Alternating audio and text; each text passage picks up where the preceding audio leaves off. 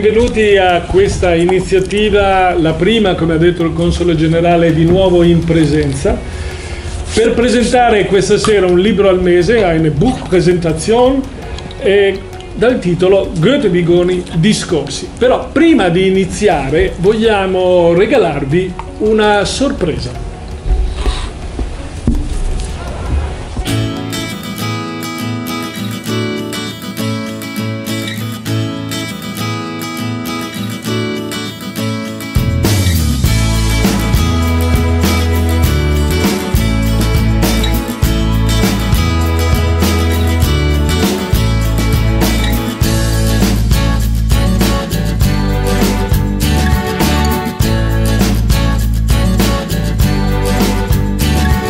Questo bellissimo centro di eccellenza, Villa Vigoni, è uno degli artefici di una grande iniziativa che doveva essere una festa, Europa Sommerfest 2020. Una festa organizzata da Villa Vigoni, Goethe Universität, Consolato Generale d'Italia, Enit, Camera di Commercio, di cui ci sono anche qui italo-tedesca, di cui ci sono anche le rappresentanti, sarebbe stato un grandissimo evento per il pubblico di Francoforte e dintorni.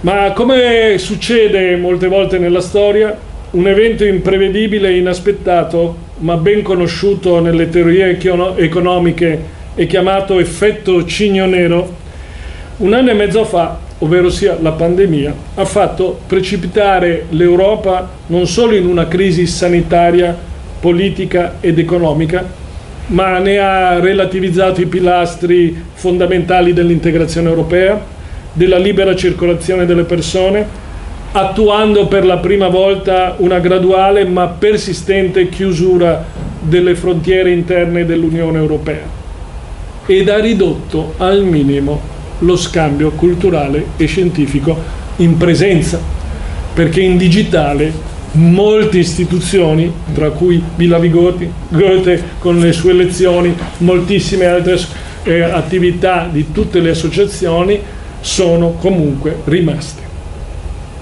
Quindi a Francoforte avremmo avuto questa Europa Sommerfest, però a causa dell'emergenza sanitaria legata al coronavirus, che si è prolungata anche nel 2021, i promotori e ideatori dell'iniziativa, ovvero sia l'Università Johann Wolfgang Goethe, Villa Vigoni, il Consolato Generale d'Italia e la Cancelleria di Stato dell'Assia hanno pensato di creare un nuovo formato, un nuovo formato straordinario, ovvero sia come riuscire a, a far parlare, interloquire diverse personalità da diversi settori del mondo della cultura, della scienza, della grande impresa, oppure giovani ricercatori, in un momento in cui un forum di discussione era essenziale. Era essenziale un momento di confronto, un segnale di apertura importante al dialogo. Perché? Perché erano mesi difficilissimi. Cristiane Liam Traniello che è un artefice, un motore di questa iniziativa, di questo stupendo libro che i, i tedeschi chiamerebbero un Sammelband, eh? un'antologia di testi, di, eh? e quindi come vedete qualcosa di prismatico, di molto eclettico, di apertura totale al dialogo, ha avuto un'idea geniale. Possiamo dirlo? Sì, eine Medienpartnerschaft, cioè proprio una, un gemellaggio, un incontro con due grandi testate, una di Francoforte, FAZ, e una italiana, La Repubblica. Contributi selezionati sono apparsi in questi due quotidiani nazionali, tedesco ed italiano. Il dialogo Italia e Germania in un contesto di Europa solidale. E quindi sulla base di questa esperienza è nato il libro dal titolo Goethe Vigoni Discorsi, uscito da pochissimo, un paio di mesi fa, per i tipi di Villa Vigoni Editore. Un volume, come abbiamo detto, che è un'antologia. Ma ora vorrei presentare la persona che questa sera è qui con noi e ci darà una mano a presentare la profondità di questo saggio. Frau Christ, äh, Christiane Liermann-Taniello wird ähm, auf Deutsch reden. Äh, der Generalkonsul Samar wird auf Italienisch unsere Frage beantworten, damit wir so paritätisch so in diesem Abend so diese, dieses Event organisieren können. La dottoressa Cristiana Elia Mantraniello ha studiato storia, filosofia e lingua e letteratura italiana presso le università di Bonn, Siena, Karlsruhe e Zurigo. Ha conseguito il dottorato di ricerca presso l'Ateneo di Zurigo con uno studio sulla filosofia politica di Antonio Rosmini. Da dicembre 1995 fa parte del team scientifico di Villa Vigoni come consigliere scientifico e da ottobre 2018 ne è il segretario generale di questo centro italo-tedesco per il dialogo europeo. Con i colleghi italiani e tedeschi continua le sue ricerche sull'opera filosofica di Antonio Rosmini, un filo rosso dei suoi studi e inoltre anche costituito dalle relazioni politiche e culturali tra Italia e Germania, con interesse particolare per le questioni confessionali e religiose. La dottoressa Lia Mantraniello fa parte della redazione di Contemporanea, rivista di storia dell'Ottocento e del Novecento, edita per il Mulino Bologna, e della redazione degli annali di storia dell'educazione e delle istituzioni scolastici, edito da editrice La Scuola di Brescia, e del board di Res Publica, World Journal of International Political and Historical Studies, della LUMSA di Roma. E questa sera, cara Cristiane che sei con noi, noi abbiamo, abbiamo scelto alcune domande tra le tantissime domande che potevamo fare. La prima è questa. Beim Betrachten des Buchs fehlte sofort das Cover auf. Was stellte das Foto dar und warum wurde es ausgewählt? Welche Rolle spielt Villa Vigoni in den deutsch-italienischen Beziehungen?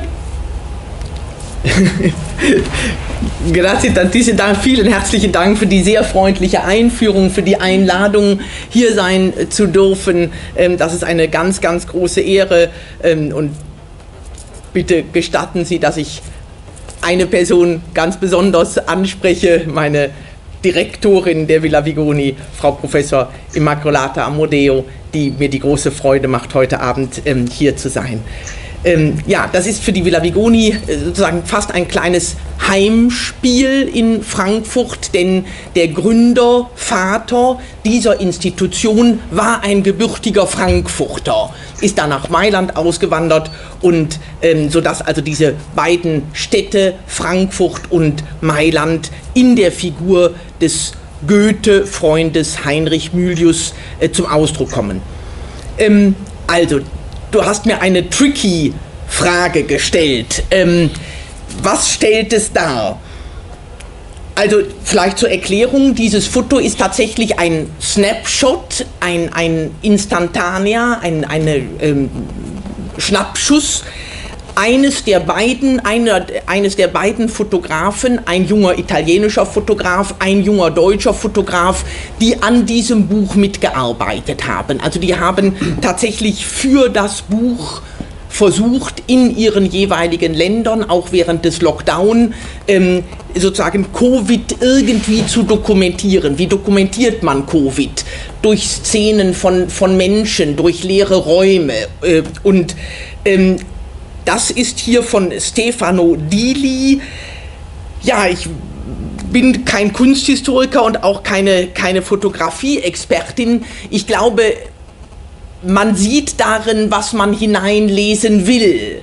Und das ist für mich ähm, zwei Figuren, von denen die eine vielleicht eher typisch italienisch oder so etwas als italienisch identifizierbar ist. Das würde ich sagen, ist bei, dem, äh, äh, bei der Person in den Bermudas, und beide haben ja also den hellen Bermudas und nach der linken Seite hin vielleicht eine weibliche Figur eher aus Nordeuropa, aber sozusagen der Farbklecks natürlich äh, ist das Herz in der Mitte.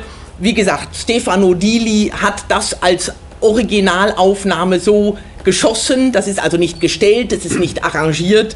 Ähm, und uns schien es für die Wahl des Covers passend, weil es ähm, einerseits natürlich dieses deutsch-italienische Verhältnis zum Ausdruck bringt, wenn man das hineinlesen will, was, was sicher nicht zwingend ist, ähm, aber auch eine Art von Traurigkeit ausdrückt, die uns nicht unpassend erschien für das Thema, dem sich das Buch ja widmet. Ähm, also jetzt irgendwie ein, ein Traumziel in Italien abzubilden oder, oder Neuschwanstein oder so, das wäre unpassend erschienen. Und diese gedämpften Farben, aber eben mit dem, mit dem roten Herzen, das schien uns dann letztlich eine, eine passende, ein passender Ausdruck dessen, was das Buch auch anstrebt.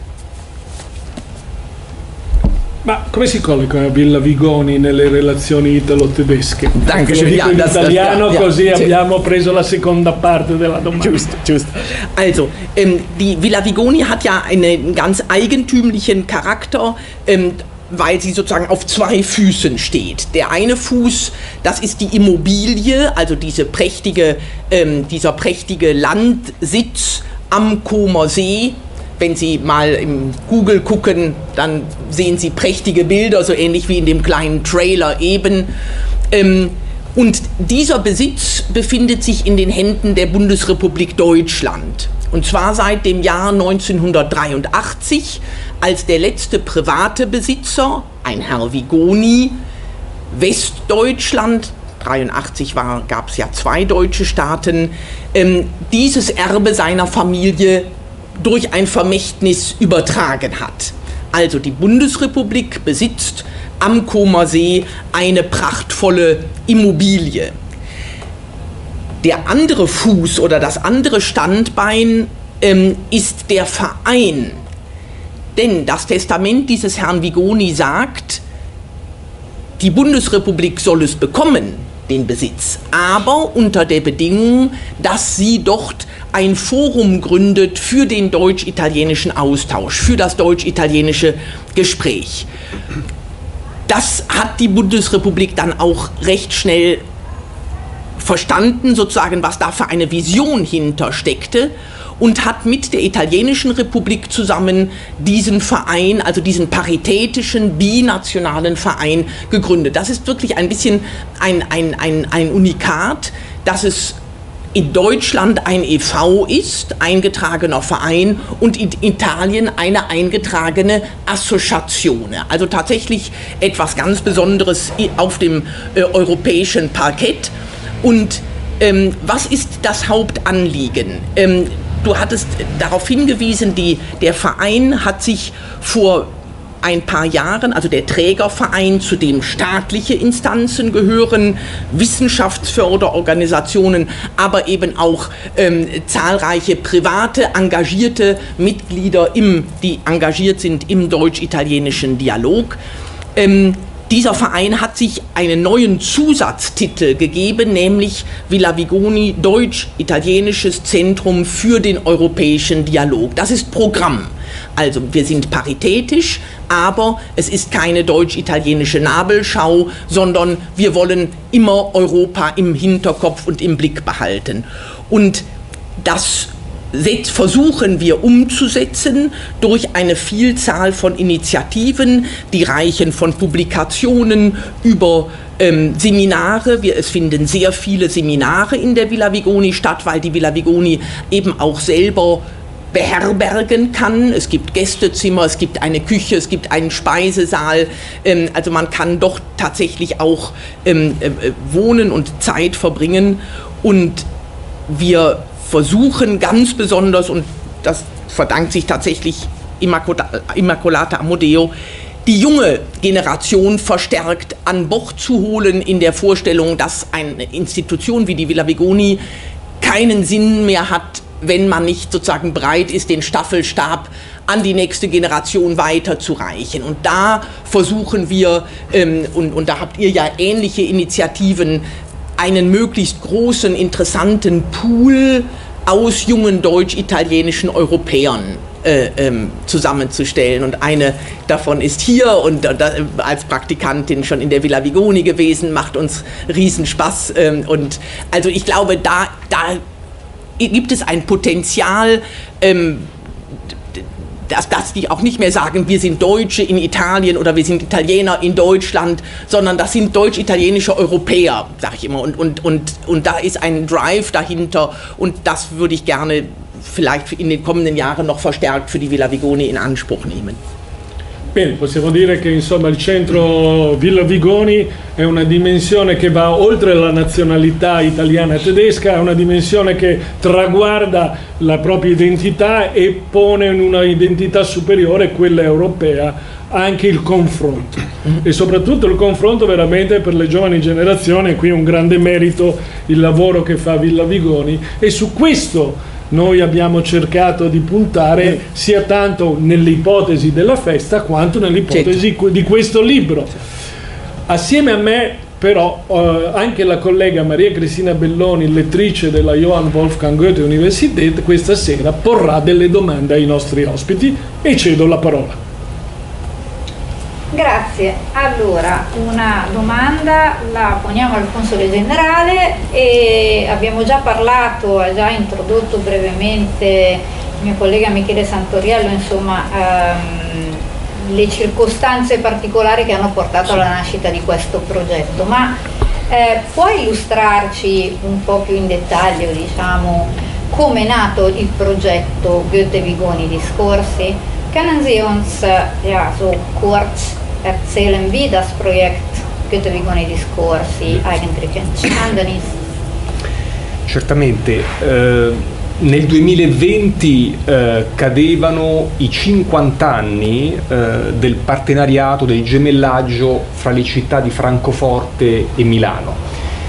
E eh, in, un, in, un, incontro eh, qui eh, a Francoforte con la Goethe Universität e poi anche a Wiesbaden col protocollo del, dell'Assia, era emersa questa volontà di organizzare un evento, appunto l'Europa Sommer, questo evento eh, in estate nel campus della Goethe Universität che eh, sarebbe stato focalizzato sull'Italia, ovviamente poi con un, con un accento particolare sulle due città, Francoforte e Milano, e sarebbe stato un evento aperto non soltanto agli studenti ma a tanti altri interlocutori eh, della città eh, sul quale lavoravamo anche con la Camera di Commercio italiana eh, in Germania e che era un evento non soltanto eh, diciamo, gastronomico o musicale ma anche l'occasione per una serie di seminari e incontri su tematiche scientifiche, economiche, politiche europee. Ecco, come ha detto il dottor Santoriello, poi a causa della pandemia la possibilità di organizzare eventi in presenza è venuta improvvisamente meno e quindi tutto il lavoro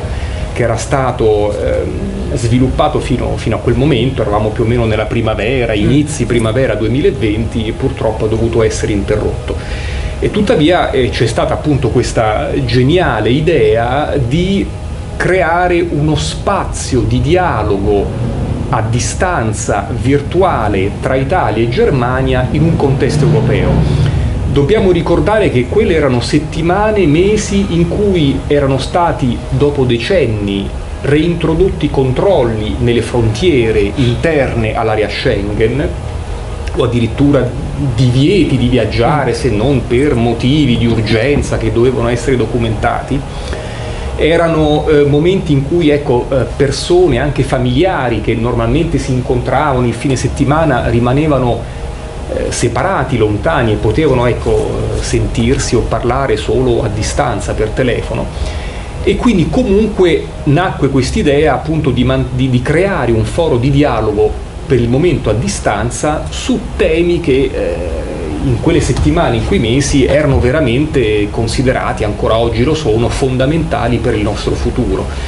E quindi ecco, ehm, Villa Vigoni insieme alla Goethe Universität, eh, con l'appoggio del consolato e, e, il, e la cancelleria dell'Assia, hanno iniziato a contattare una serie appunto di personalità del mondo della cultura, dell'accademia, eh, del, del giornalismo, per stimolare un dibattito su temi in maniera trasversale, perché questo è un dibattito che copre tante materie, tante materie, e eh, un dibattito che fosse appunto focalizzato sulle sfide poste dalla pandemia, sul modo di affrontarle e ovviamente un dibattito in cui il ruolo di Italia e Germania è importante, ma non solo, è un dibattito appunto in un contesto europeo, ci sono anche delle voci non, non tedesche quindi, in questo libro.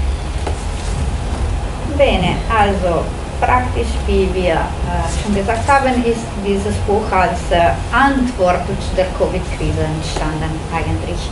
Und im Besonderen zu den Folgen, die äh, diese Krise für äh, die Projekte äh, eines äh, dieses Europafest, Europa-Sommerfest, die im Campus der Goethe-Universität stattfinden sollte, gehabt haben.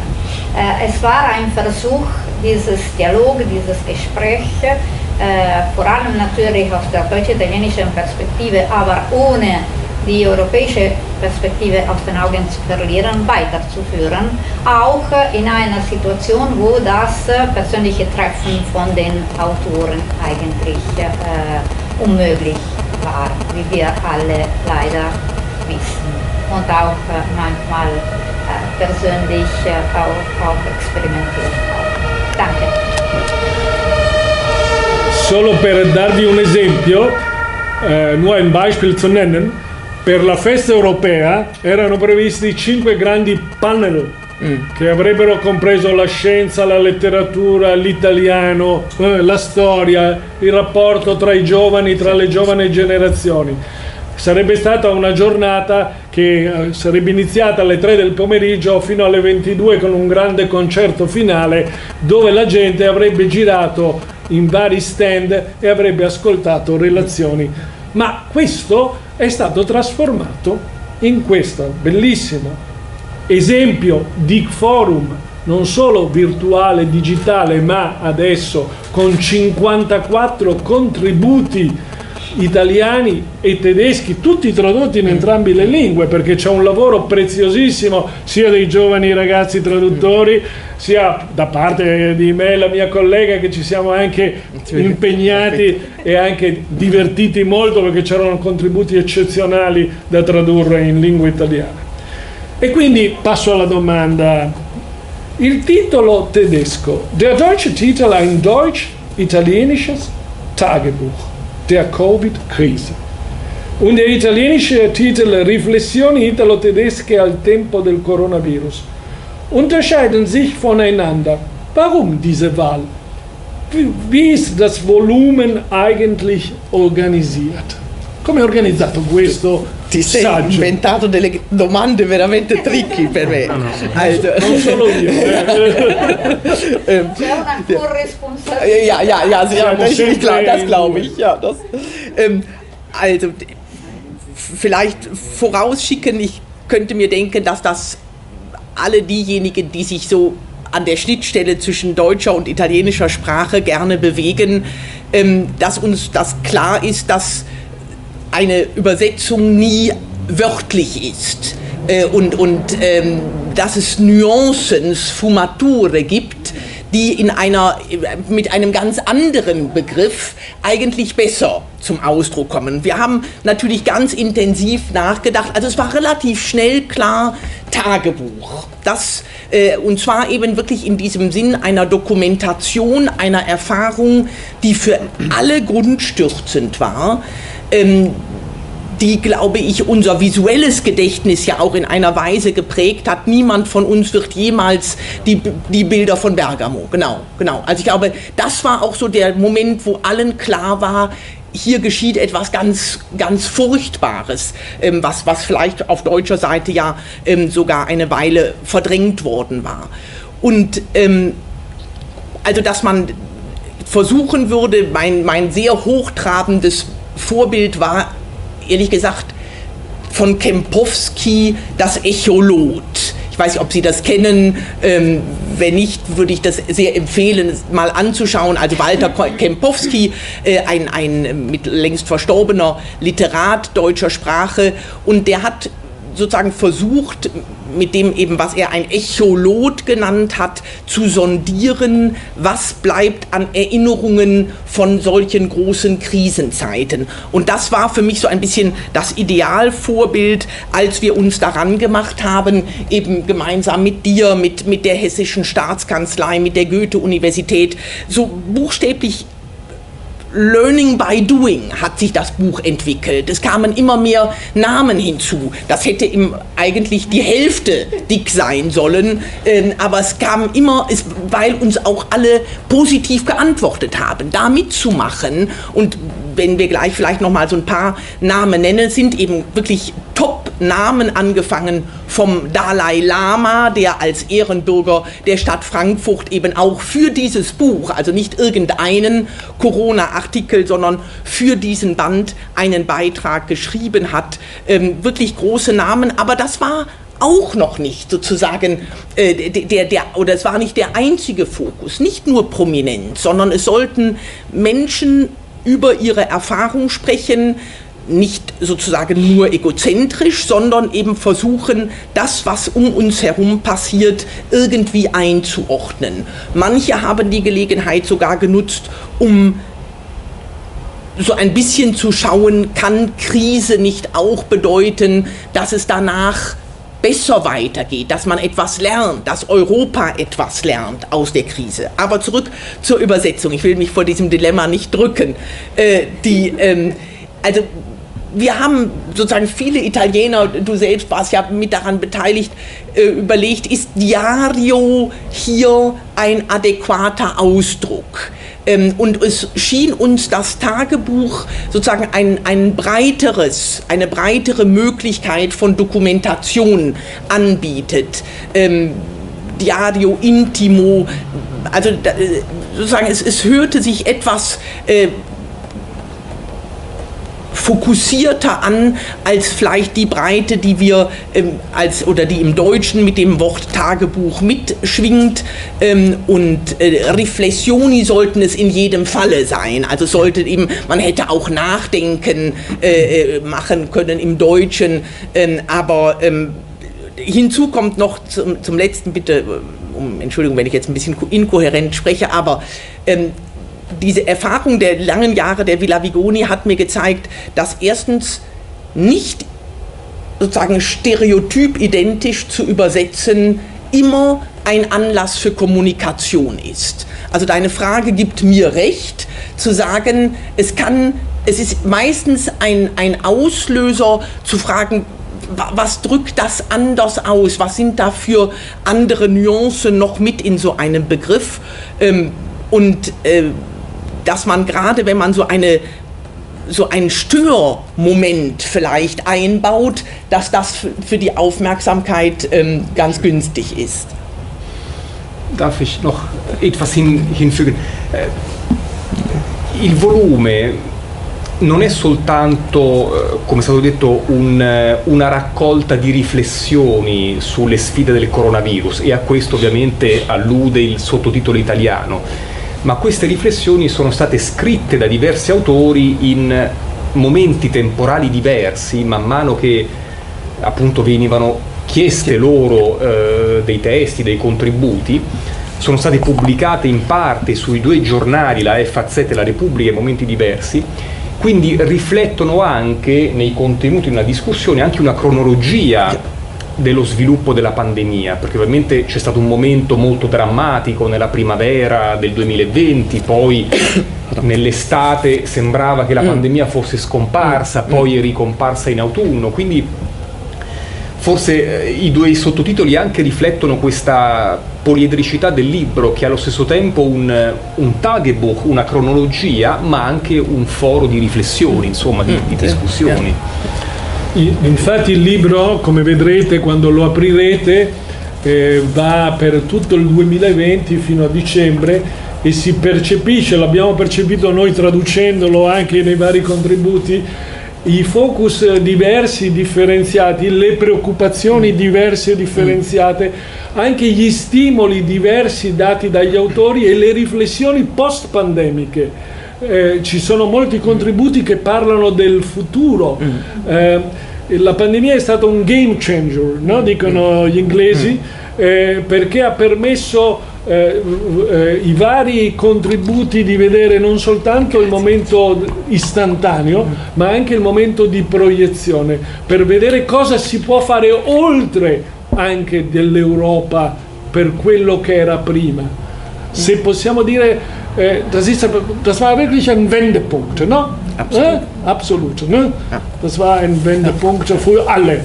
Für diejenigen, die, die, solche Beiträge geleistet haben und für diejenigen, die auch die Übersetzung gemacht haben. Do la parola alla collega.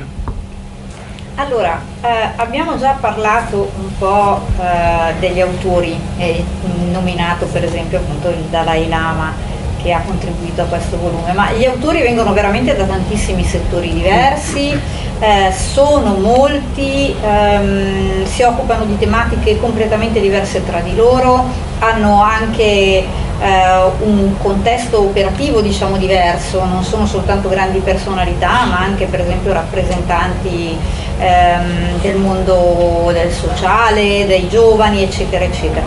Eh, come sono stati tra virgolette reclutati, cioè su che base è stata effettuata questa scelta?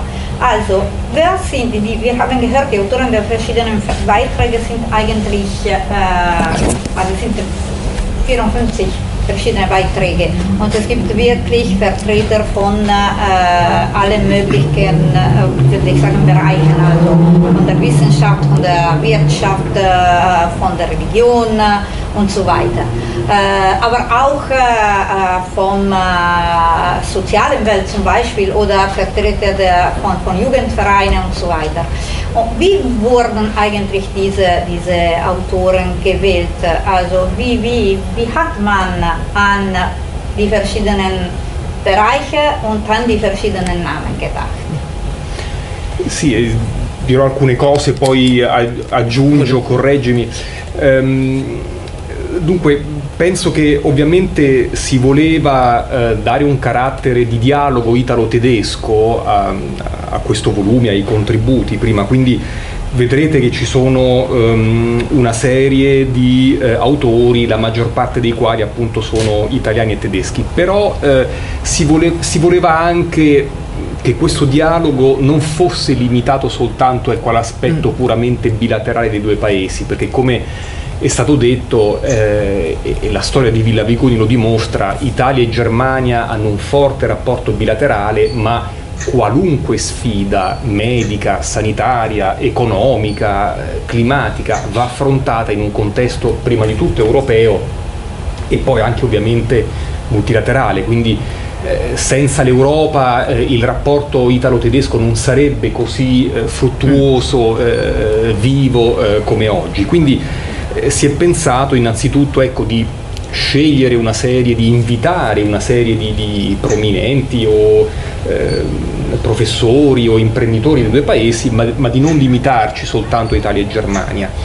E, e poi anche si è capito che questa pandemia poneva una sfida, era una svolta, un vendepunkt in tanti settori, dal, dalla medicina alla ricerca scientifica, all'economia, alla società, alla cultura, ehm, eh, ai trasporti, quindi si è voluto anche dare un carattere interdisciplinare.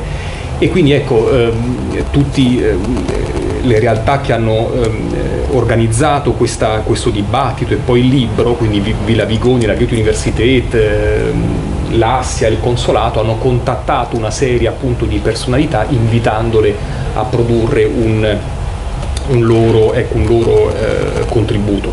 Volevo soltanto ecco, menzionare alcuni nomi, ecco, non, giusto per dare una carrellata della poliedricità di questi, di questi autori.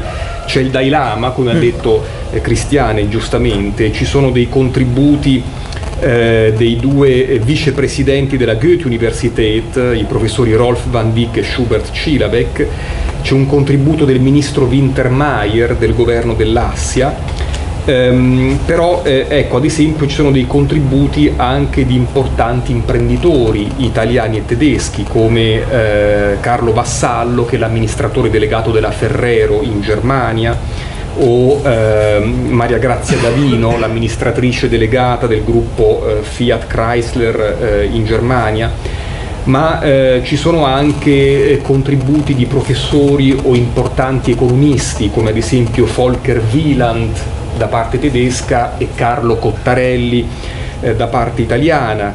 Ehm, ci sono ehm, degli uomini politici che hanno avuto o hanno ancora degli importanti incarichi a livello europeo, come Franz Fischler, austriaco, che è stato commissario europeo, e anche Nicola Bear, tedesca, che è vicepresidente del Parlamento europeo.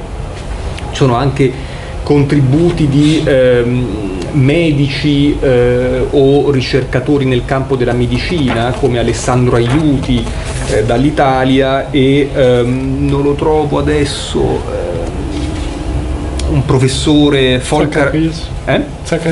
Zacharias? Esatto, o, insomma, eh, sono ehm, veramente molto molto trasversali o anche politologi come ad esempio ecco, Bolaffi eh, che è un, eh, è un esperto ecco, di politica, di filosofia politica. Ehm, questi sono soltanto ecco, alcuni, eh, alcuni eh, nomi, ma potrei ancora citare Massimo Cacciari, ecco, filosofo, uomo, uomo politico, o eh, il sindaco di Francoforte Peter Feldman e così via. Ci sono anche contributi, come è stato detto, di giovani studiosi, eh, come appunto Maria Stalla, Leonardo Veneziani e Riccardo Haupt, che sono borsisti a Villa Vigoni, dei giovani eh, ricercatori che danno anche come dire, la prospettiva del, delle generazioni più, eh, più giovani. Ecco, non so se vuoi ehm, aggiungere qualcosa. Come li hai reclutati, Cristiani? Di la verità, insomma, come sei riuscito a convincerli? Hai messo il dito, ja, genau, genau, ja, genau, genau, genau, die, detto... Telefonbuch aufgeschlagen. Ja, Äh, na, nein, also ähm, tatsächlich war auch das eben so ein, ein Learning by Doing. Also wir hatten vor allen Dingen ganz am Anfang, glaube ich, ähm, war ja auch die Idee, es sollen überhaupt nur die Beiträge zusammengefasst werden, die in den beiden großen Tageszeitungen ähm, äh, veröffentlicht werden. Also die sollen da veröffentlicht werden und dann machen wir daraus später nochmal ein Buch. Ähm, da, damit war der Fokus am Anfang relativ stark auf die großen Namen gerichtet und es sind wirklich zum Teil, also ich bin da selber ein bisschen beeindruckt, äh, durchs Grünbein äh, hat, hat äh, für uns geschrieben, Volker Schlöndorf, ähm, äh, der, der Oberboss von Generali Versicherungen, äh, der Oberboss der Deutschen Bank, hier ihr Nachbar. Ähm, also, äh, und zwar eben wirklich alle Leute, die gesagt haben, äh, da machen wir mit. Das, das ist ein Forum, da, das interessiert uns. Das gibt es nämlich sonst nicht. Es haben dann französische Freunde auch gesagt, können wir sowas zu dritt machen als nächstes Buch. Deutsch, Französisch, Italienisch. Ähm, das, das, ähm, also hatte sich relativ schnell gezeigt, dass das auf, auf europäischer Ebene sozusagen ein, eine Initialzündung äh, sein konnte. Und dann ist es wirklich unter der Hand explodiert. Ähm, wir wollten zwölf vielleicht und jetzt waren es am Schluss waren es 57 oder 54. Ähm, zuletzt auch, weil sich dann herausstellte, also diese Medienpartnerschaft war toll, war eine großartige Erfahrung, aber was wir vielleicht unterschätzt hatten, war, dass für die großen Tageszeitungen natürlich nur Namen interessant sind, die dann auch wirklich in beiden Ländern äh, Stars sind. Und das wiederum ist bei einem Renzo Piano, der auch hier mitgeschrieben hat, der Fall. Also das hat uns natürlich super stolz gemacht. Auch bei Durchs Grünbein, äh, der wurde auch sofort in La Repubblica veröffentlicht, ein sehr schöner Beitrag. Aber wir wollten ja schon die gesamte Zivilgesellschaft abbilden und zu Wort kommen lassen. Und die jungen Leute, du hast sie genannt, ähm, sind noch eine junge Künstlerin aus Berlin, die wir demnächst auch in der Villa Vigoni ausstellen wollen. Tanja Nitka empfehle ich sehr mal äh, auch äh, äh, in der, auf, der Web, auf ihrer Website sich anzugucken. Also klar, tolle Namen, das macht immer Bella Figura, da freuen wir uns, aber der, der, das äh, hochgesteckte Ziel war, glaube ich, ne, wie du gesagt hast, einen breiten Eindruck von den zivilgesellschaftlichen, also Wirtschaft und, und äh, ähm, Wissenschaft, Kultur, Literatur, bildende Kunst, ähm, ja, die Philosophen, Cacciari, ähm, der mitgemacht hat. Also es war schon ein und natürlich zieht dann auch einer den nächsten nach sich. Wenn man dann sagen kann, ja, aber Renzo Piano hat schon geliefert, dann äh, kommen natürlich mancher gerne auch hinterher. È vero, c'era una specie di competizione. Yeah. Noi quando ricevevamo i contributi ci sorprendevamo sempre di più. Eh, era come salire nella scala delle preferenze. Eh? Era veramente una sfida e qualche costante. volta anche nella scala delle difficoltà ah, esatto. questo non lo vogliamo dire ma le difficoltà alcune volte sono state tante io e la collega ci, ci consultavamo giornate intere sulla traduzione di alcuni pezzi eh. vorrei era... ringraziarli entrambi perché hanno fatto grande, grande ringraziamento eh, è vero sembra che questo volume sia diventato un seme che può germogliare altri confronti, altri dialoghi, altre tipologie di fondo.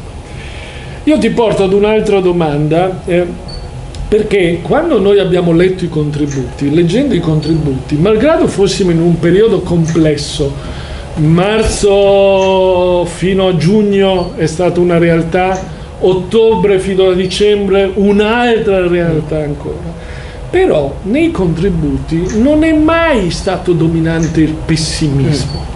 C'è sempre stata una venatura, non potrei dire di grande ottimismo, da, ma di un ottimismo della ragione, che voleva superare la situazione, ma per portarla ad un confronto più grande. Secondo te, questa crisi pandemica può trasformarsi in una nuova speranza? In generale, non solo per mm. l'Europa, per la Germania, per l'Italia, ma anche per il mondo intero. Sollen wir die Frage auch auf Deutsch wiederholen? Ja, ja, bitte, bitte, bitte, bitte. bitte.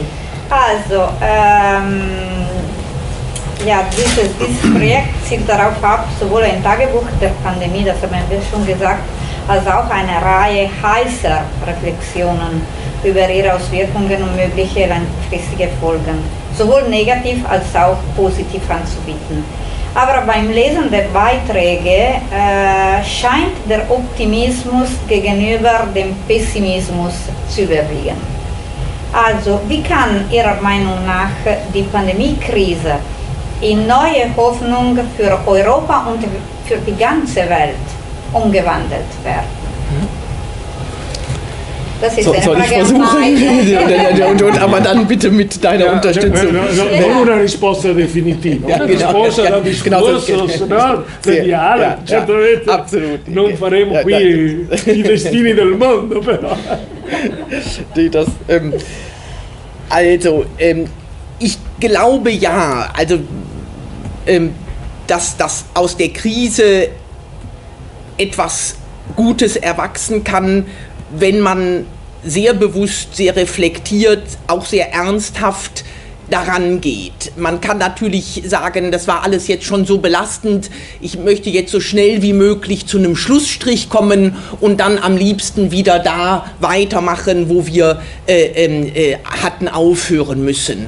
Ähm, und da sind diese Beiträge für mich tatsächlich ein toller Beweis, dass Menschen ganz unterschiedlicher äh, Professionen, Generationen, äh, religiöser Aufstellung und so weiter doch fast durchgehend zu dem Schluss kommen zu sagen, ähm, wie die Römer gesagt haben, per aspera ad astra oder aus dem, aus dem Leid kann, wenn es reflektiert und auch durch Freunde unterstützt und ich glaube, auch davon ist dieses Buch eben ein Zeugnis, ähm, dann kann es einen reifen lassen und kann letztlich sozusagen ein, ein menschler, menschlicher Gewinn für das Individuum, aber vielleicht auch tatsächlich für größere Kollektive sein. Also diese Vorstellung, dass man durch ein tiefes Tränental gehen muss, um dann aber doch aufzusteigen, das lehrt uns ja auch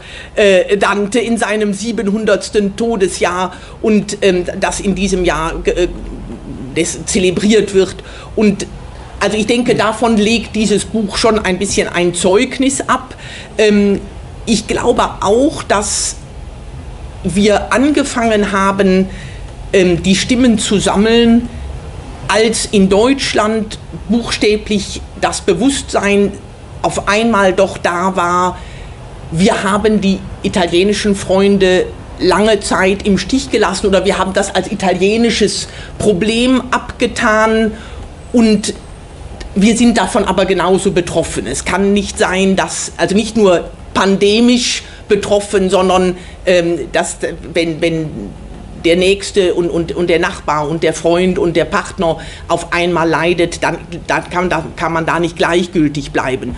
Und ähm, ich glaube, dass da kam so eine Dynamik hinein zu sagen, wir müssen das als Europäer anpacken.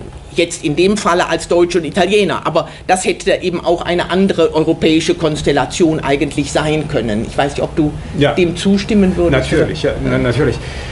Se posso aggiungere qualcosa, eh,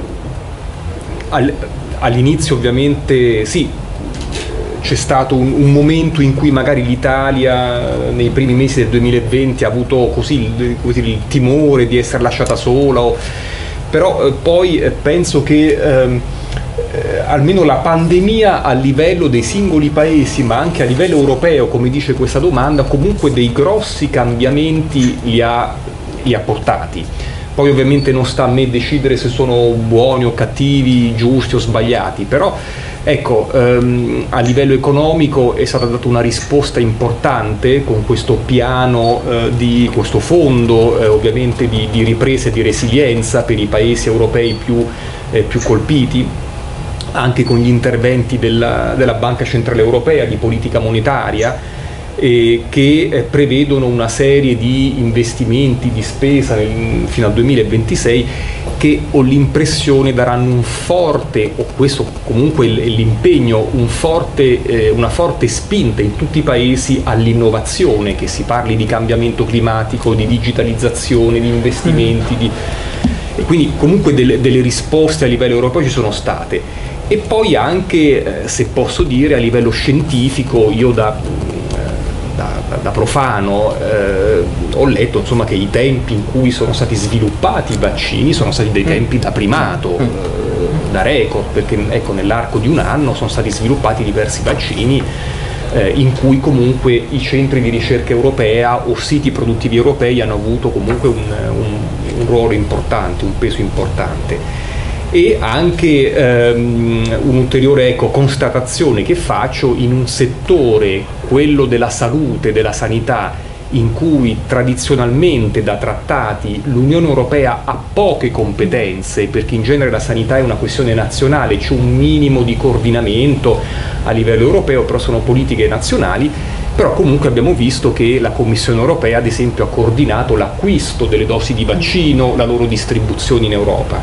Eh, ecco, quindi sicuramente se io dovessi dare una risposta, se la crisi pandemica comunque ha dato un impulso quantomeno a eh, correggere, a migliorare, a sviluppare alcune forme di collaborazione a livello europeo, io mi sentirei di dire mm. di sì.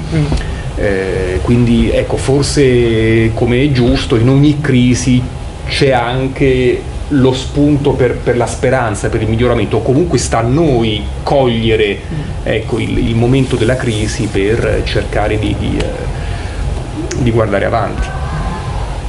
Bene, ci sono delle riflessioni anche estremamente importanti sulle questioni che riguardano il sociale, il rapporto città-periferie, il, la nuova modalità della, della, digitalizzazione del lavoro, quello che viene chiamato in Italia lavoro agile, eh, lavoro da remoto, eh, quello che riguarda la sostenibilità ambientale, ma tu hai vissuto la crisi in Italia, quindi hai visto in prima battuta anche cosa ha significato il cambiamento per eh, la gestione del tuo ambiente di lavoro. Ecco, come si è comportata Villa Vigoni in quel periodo del 2020? Quali sono state per voi le significative diversità?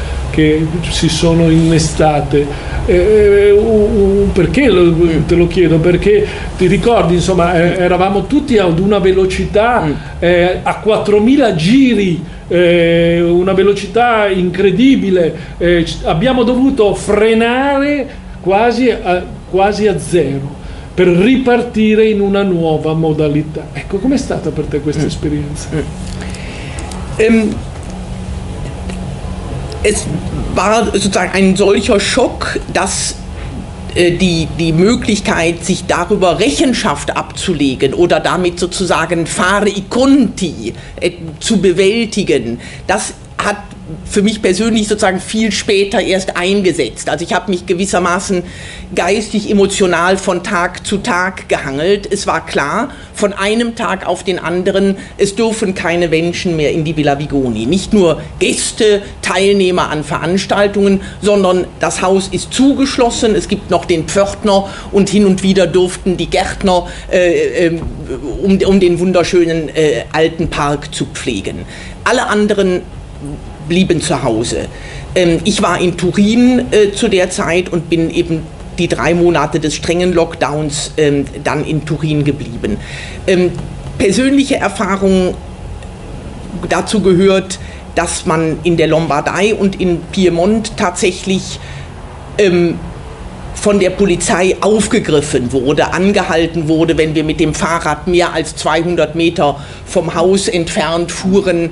Ähm, immer sehr freundlich, sehr, sehr höflich, so nach dem Motto, aber es ist uns, oder versteht das doch bitte, ähm, denn uns wird ja signalisiert, da fahren wieder zwei mit dem Fahrrad, also nicht sozusagen als, als ähm, Anschwärzen, sondern dass die Leute eben wirklich Angst hatten. Ne? Und wenn dann irgendwelche Streikbrecher oder irgendwelche äh, Unvorsichtigen da durch die Gegend fahren, dass dann jemand die Carabinieri anruft und sagt, äh, holt die bitte von der Straße. Ich habe äh, zum ersten Mal da allerdings auch wirklich so das Gefühl nachvollziehen können, was es bedeutet, irgendwo clandestin äh, zu sein und jederzeit aufgegriffen werden zu können und, und, und nicht zu wissen, äh, äh, wie man sich dann rechtfertigt und verteidigt. Ähm, also das war schon, oder wenn, wenn, wenn ein Karabinierauto an einem vorbeigefahren ist, äh, muss man sich jetzt ausweisen, muss man dies oder jenes jetzt rechtfertigen. Also das ist sozusagen eine, eine persönliche Note. Ähm, die Villa Vigoni war, wie gesagt, dann mit einem Schlag zu. Es wurden sämtliche Veranstaltungen abgesagt.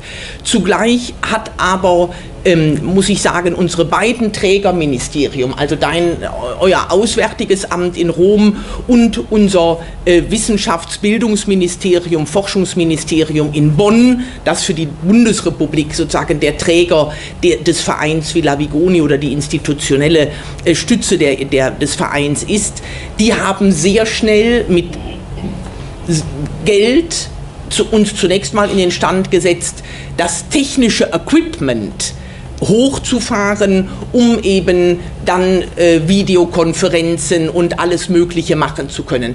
Also da haben sich beide Republiken sofort sehr spendabel gezeigt, weil vielleicht auch wirklich den, den Protagonisten sehr schnell klar war, ähm, äh, das ist jetzt die einzige Möglichkeit überhaupt äh, äh, zu kommunizieren.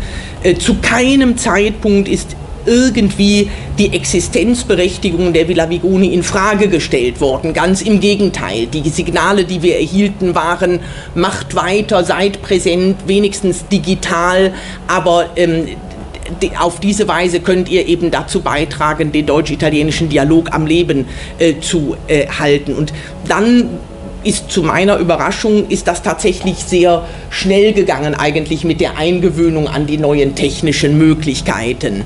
Ähm, und äh, aber wir hatten, wir hatten junge Leute, die haben zwei Wochen vorher ihre Projektstelle angetreten und gingen dann in den Lockdown und die haben bis heute eine, eine Veranstaltung vielleicht miterlebt. Also das waren schon kuriose und auch tragi tragische Verhältnisse. Prima di chiudere con l'ultima domanda, also das war eine Art wirklich umzudenken, total, ne? ja, ja, komplett. Ja, ne? Also ja. hier gibt es einen Beitrag von äh, Paolo Ferri von der äh, European Space Agency, der erzählt ganz genau, wie eine solche Agentur, ne, wo ja. alle Satelliten der Welt nur von der Zentrale in Darmstadt ge, also gesteuert werden können, von zu Hause aus. Ja. Die ganze Sache, was für die Techniker jahrelang für unmöglich gehalten worden ist. Und die 20 jetzt Satelliten werden von zu Hause aus dann jetzt gesteuert. Also das ist wirklich ein total Umdenken und die Fähigkeiten, also von solche auch Spitzenpersönlichkeiten auch eine andere Welt daran, an diese andere Welt zu denken.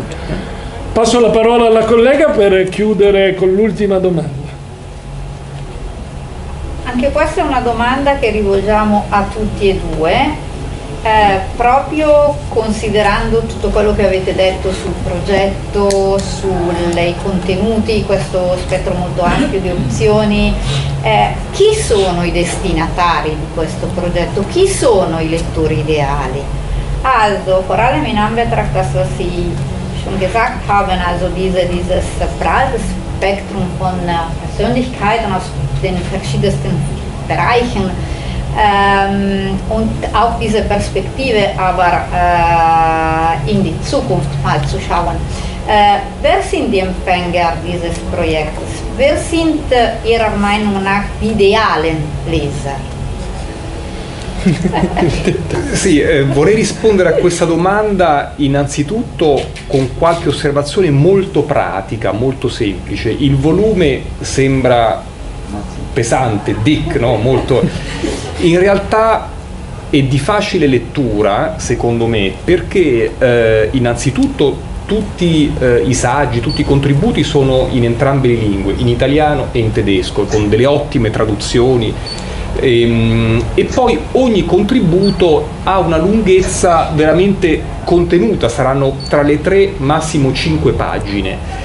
Quindi ehm, veramente chi sfogliando il libro è interessato a un tema, a un, una disciplina, non so, il, temi medici, scientifici o economici o culturali, può selezionare un paio di contributi e leggerli in entrambe le lingue e eh, veramente trovare riflessioni molto interessanti e sono appunto letture brevi di, che, che non durano a lungo. Quindi a mio avviso sia per l'ampiezza degli autori e delle materie sia anche proprio per come il libro è formato, ecco, in, in, entrambe le lingue con contributi da articolo di giornale, mm, ecco, da editoriale, ecco, è la lunghezza di un editoriale di un giornale, veramente si presta ad avere un pubblico di lettori ideali, a mio avviso, molto ampio. Eh, mm.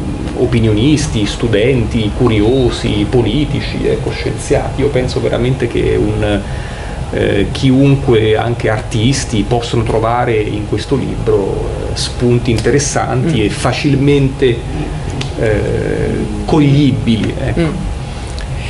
Ich würde das absolut unterstreichen und äh, auch nochmal hinzufügen, dass, glaube ich, ja, wir waren ja ganz unterschiedliche Player, auch in, dieser, ähm, äh, in, die, in diesem Team der, der Herausgeber oder deren, die sich das ausgedacht hatten. Und jeder hatte natürlich auch so ein bisschen seine eigene Klientel vor Augen. Ich halt äh, den Verein Villa Vigoni, die Vereinsmitglieder, ähm, die ja auch wiederum untereinander, ähm, also ein sehr breites Panorama an Interessen und, und, und ähm, Kompetenzen abdecken.